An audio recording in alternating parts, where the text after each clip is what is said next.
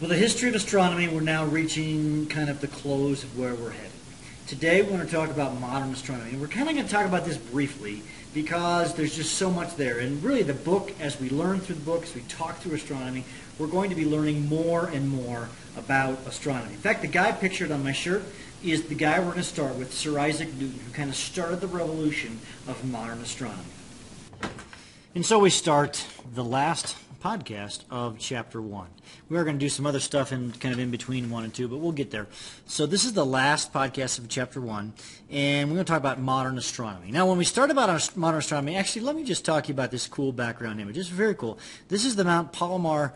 I might be mispronouncing that uh, observatory in uh, in or actually the mountains of uh, California near San Diego, and uh, one of the largest observatories in the world basically there's just a big telescope in this dome. The reason they have the dome there, first of all, this dome can rotate because as we know the sky sort of moves and you can kind of have the dome rotate and move around.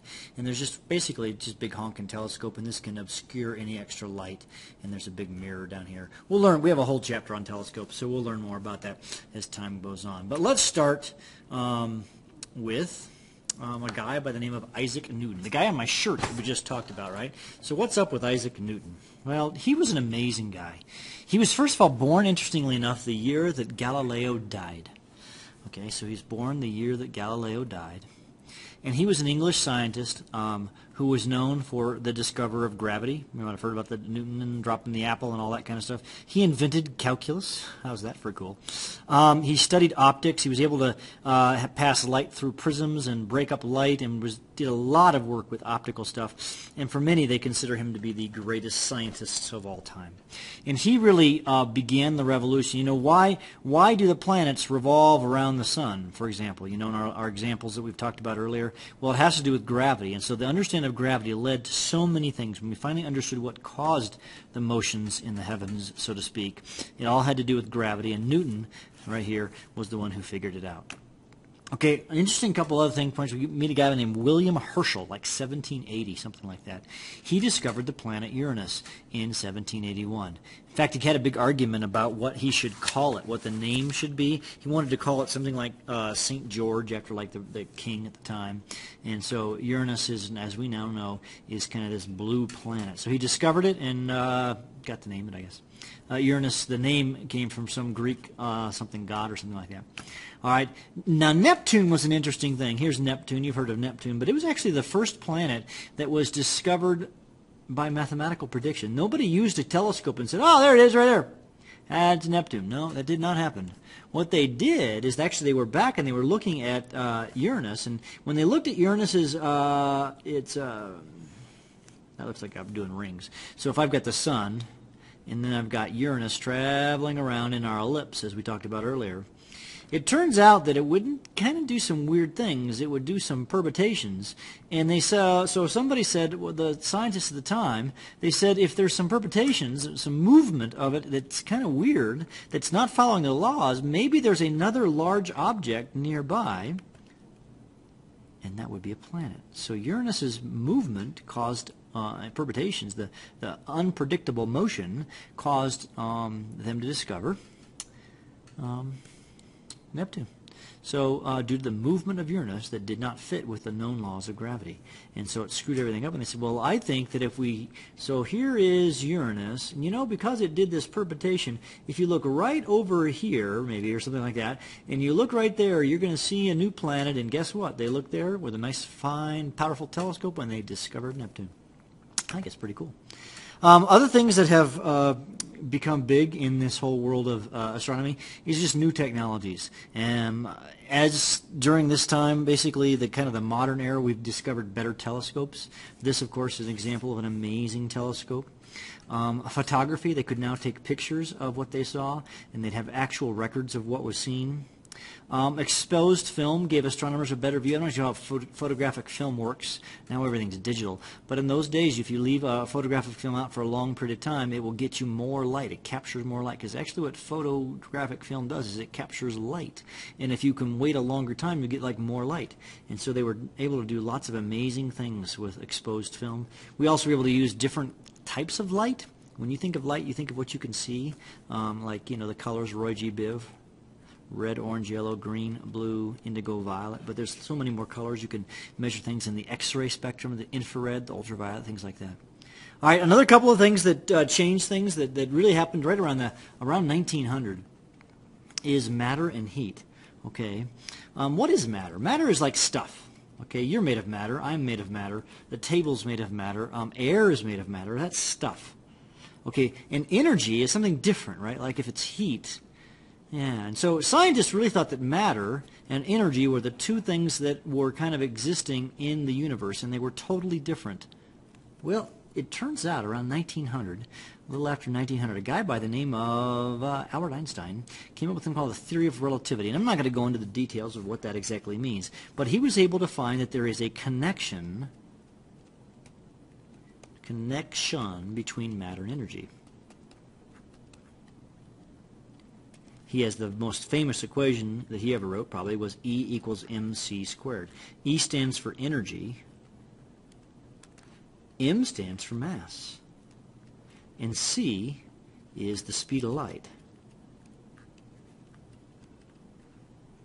All right, so energy is equal to the mass energy, right? Energy, right? Energy. Matter is the mass times the speed of light squared. So they're related and uh, we'll talk more about how that works. But that changed everything too. Then we began to understand so much more about our universe as Einstein, and he wasn't the only guy, but a lot of people began to, to discover all that stuff. Now, speaking of energy, we do need to talk briefly about temperature real fast, because this is going to come up in quite a bit of uh, examples here. There's something called the Kelvin temperature scale, named after this guy by the name of Lord Kelvin. So we've got this dude, Lord Kelvin. I forget his first name, but anyways, um, we've got this Kelvin temperature scale. That's what's called the absolute temperature scale. Now, you're probably familiar with the Celsius temperature scale, where at zero degrees water freezes and 100 degree water boils. Now, you can get colder and colder and colder, but when you get to the coldest possible temperature, you reach a point that's actually called absolute zero. Absolute zero is the coldest temperature that can possibly be reached, and that's minus 273 degrees Celsius. You can't go below that. There's no temperature below that. In fact, that's when uh, scientists would say that the atoms stop moving because temperature relating is related to how fast molecules, atoms, whatever, move.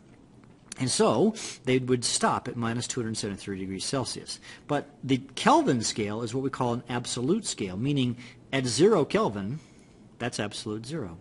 There's maybe think of it this way: there are no negative numbers in the Kelvin system, and so at 50 Kelvin, that is not a negative sign. At 50 Kelvin, we get liquid air. How's that for wild? Dry ice is solid um, right at about 195 Kelvin, and above it it's dry. It's uh, it's a gas. Water freezes at 273 Kelvin, and it boils at 373 Kelvin. There's actually an equation that kind of relates these, and so let's write this down.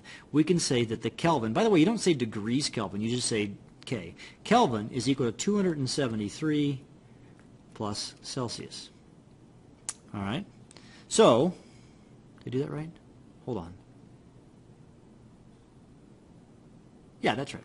Okay, so let's do a couple of examples. So let's say that it's um, 0 degrees Celsius outside. Well, we said K is equal to 273 plus C. Well, that would be equal to 273 uh, plus 0. So that would be 273 Kelvin. Well, that's okay. But let's say it's like a hot day outside. Now, a hot day outside in Celsius would be like 30 degrees Celsius. So if it's 30 degrees Celsius, what's its Kelvin temperature? Hmm. Well, you would just take 30 plus 273. So that would be 303 Kelvin.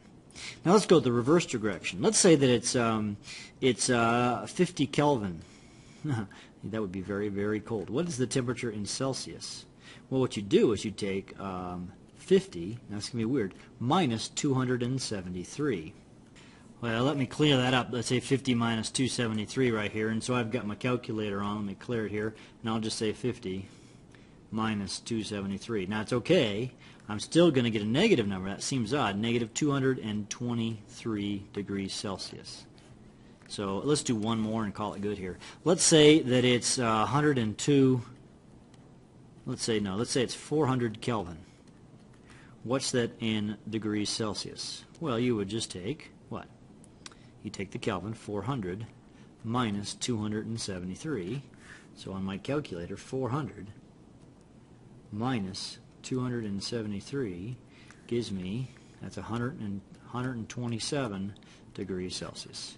So we're going to be doing some conversions. It's just adding and subtracting 273. Very simple. You got to keep track of which way goes what.